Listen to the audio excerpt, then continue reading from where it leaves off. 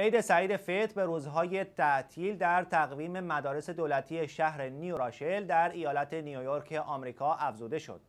به گفته هیئت آموزش و پرورش شهر نیوراشل در ماه جوان سال تحصیلی 2018-2019 دانش آموزان مدارس این شهر تعطیلاتی جدید به مناسبت عید سعید فطر خواهند داشت. این تصمیم در جلسه هیئت آموزشی ناحیه در ماه جاری میلادی گرفته شده است. آمی مصلحی یکی از اعضای مسلمان هیئت امنای این ناحیه به نمایندگی از مسلمانان شهر این درخواست را داده بود.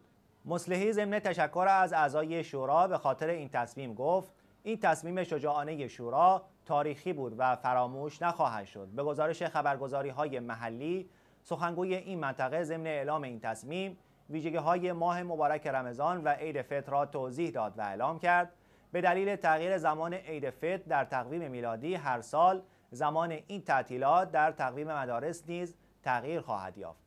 یکی از نمایندگان شورا علت این تصمیم را اهمیت دادن به مسئله تنوع جمعیتی در منطقه دانست.